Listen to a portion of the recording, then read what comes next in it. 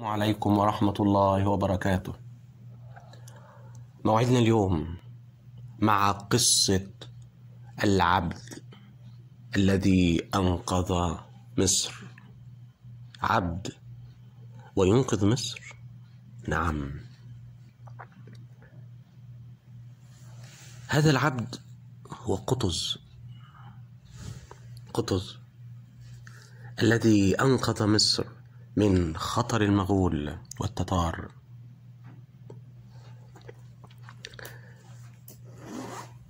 فكما نعلم أن التتار هم مجموعة من الهمج مجموعة من السفاحين الذين لا هم لهم في هذه الحياة غير التدمير وإشاعة الخراب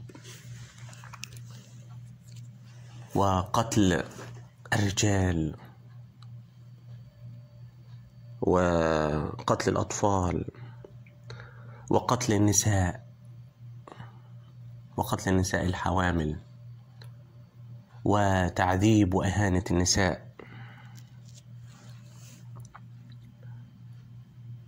فهؤلاء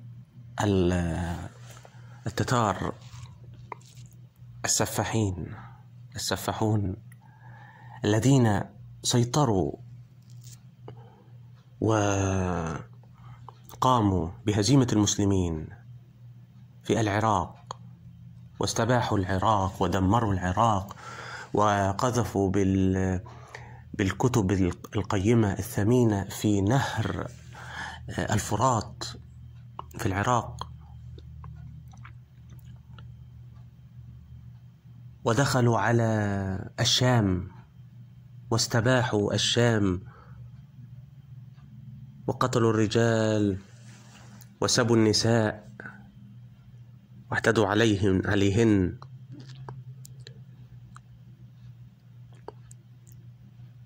ولم يتبق لهم غير مصر. فمصر قريبة من الشام. ولكن يشاء القدر أن يكون قطز هو حامي مصر الذي سيحمي مصر من خطر التتار فما هي قصة هذا البطل؟ هذا البطل سبق وقلنا أنه عبد ولكن لم ي... يعني لم يولد كعبد ولكنه كان حرا طليقا وكان من عائلة ثرية. وعائلة كان لها باع طويل في صد هجمات التتار. فوالده هو الأمير ممدود. وخال قطز هو جلال الدين ابن علاء الدين خوارزم شاه. كانت له صولات وجولات ضد التتار. ف نجد أن قطز سيتم اختطافه وس... وسيباع كعبد وتنقل من من بيت إلى بيت تنقل في الشام ثم إلى مصر. واستقر به المقام عند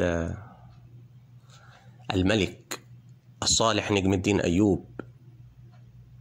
وهذا الرجل كان يشتري المماليك لكي يعلمهم الفروسية ويعلمهم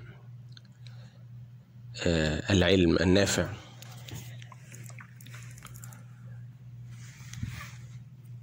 الآن قطز يفكر كيف سأحرر مصر؟ كيف سأتصدى لخطر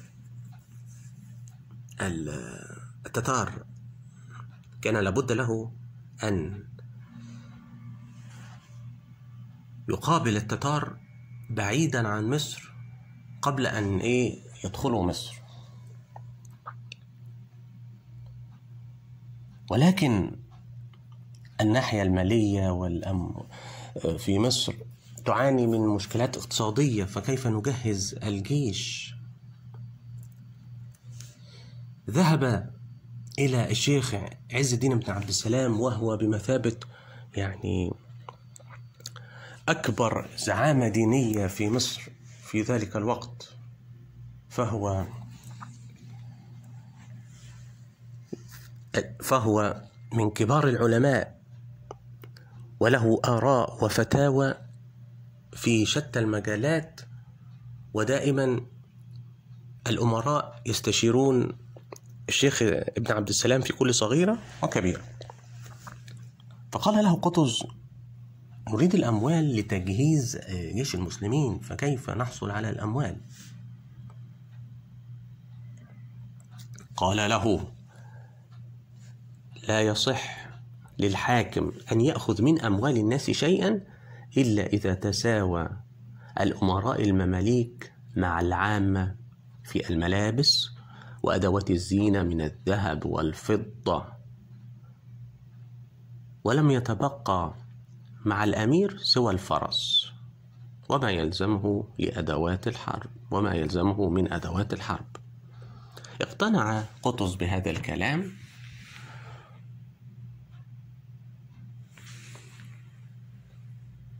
وفعلا أصبح الجميع أصبح الجميع من أمراء وعامة لا يملكون إلا الأشياء الضرورية. وبقية الأشياء تذهب إلى إيه؟ بيت مال المسلمين. المهم قطز يجهز العدة ويجهز الجيش. ويقوم بالخطط والتخطيط للحرب فيرسل الجيش إلى منطقة الصالحية لكي يعس... لكي تكون معسكر للمسلمين. وبعد ذلك يرسل الظاهر بيبرس إلى غزة في حملة. هذه الحملة هي جس نبض لإيه؟ يعني لقوة الجيش ولرد فعل التتار. وفعلا هذه الحملة تكون حملة ناجحة. حملة بيبرس على غزة. ثم يسير الجيش باتجاه عكا باتجاه سهل البقاع. وفي عين جالوت تكون المعركة الكبرى بين قطز وبين المغول والتتار. في هذه المعركة. قطز. قام بخطة ذكية فهو يجعل أفراد الجيش عبارة عن فرق متنوعة. لا يهجم بكل الجيش يهجم بفرقة معينة وبعدد معين والباقي يكون مختبئا وراء التلال وراء الأشجار. ونجد أن قطز في الحرب الفرس الذي يركبه قطز قتل فقطز أصبح يحارب وهو بدون فرس والجميع يعرض عليه يا قطز خذ الفرس مني قطز يرفض. ويحارب بدون الفرس ويصرخ صرخته المشهورة وإسلاما وفي هذه المعركة معركة عين جالوت يقتل كتبغى وهو قائد المغول في هذه المعركة.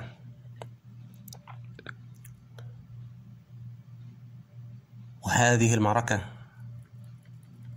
جعلت الجيش المغولي يتقهقر ويبتعد عن مصر ولا يدخل مصر وهكذا تنتهي ينتهي خطر التتار على مصر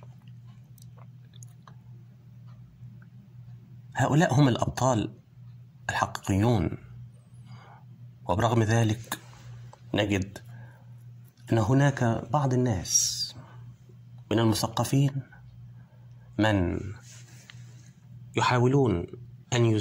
يحاولون أن يزيفوا حقائق التاريخ ويشوهوا صورة هؤلاء الأبطال ومنهم يوسف زيدان.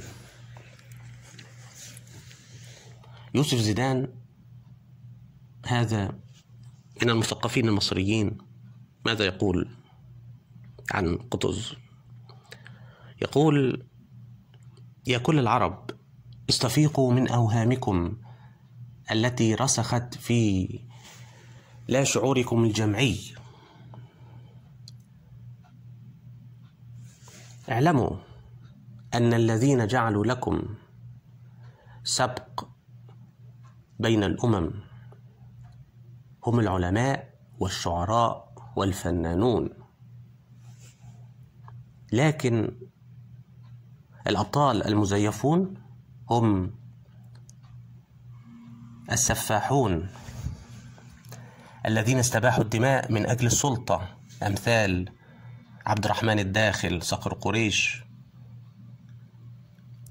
السلطان قطز بيبرس السلطان صلاح الدين. لا حول ولا قوة إلا بالله العظيم قطز. استباح الدماء من أجل السلطة؟ قطز الذي أبعد خطر المغول. كان سفاحا للدماء؟ صلاح الدين الذي حرر القدس. اتق الله يا من تريدون أن تنشروا الفساد بآرائكم الضالة وتدعون أنكم من أهل الثقافة.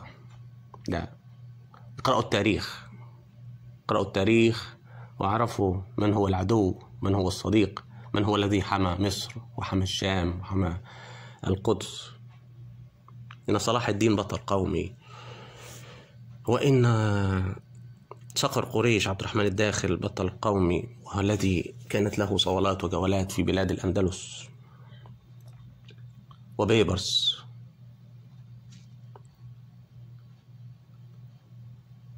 وهكذا عرفنا قصة العبد الذي حمى مصر والى اللقاء في لقاءات أخرى والسلام عليكم ورحمة الله.